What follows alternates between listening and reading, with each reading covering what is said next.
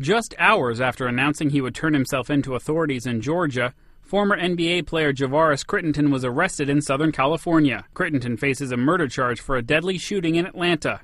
The FBI took him into custody after he had checked in for a flight to return there from John Wayne Airport in Orange County. Authorities issued a warrant for Crittenton's arrest in the August 19th shooting of 22 year old Julian Jones, the mother of four young children. We believe that Miss Jones was walking down the street with another individual, and at some point, uh, Mr. Crittenton pulled up, and we believe uh, that he discharged his weapon outside of a black Chevy Tahoe, striking Miss Jones in the leg. Police have said the motive appears to be retaliation for a robbery in April in which the former Georgia Tech player was a victim. When he was with the Washington Wizards in December 2009, Crittenton and then teammate Gilbert Arenas had a dispute over a card game on a team flight. Two days later, Arenas brought four guns to the locker room and set them in front of Crittenton's locker with a sign telling him to pick one. Crittenden then took out his own gun. He pleaded guilty in January 2010 to a misdemeanor gun charge and received a year of unsupervised probation. Noel Waghorn, The Associated Press.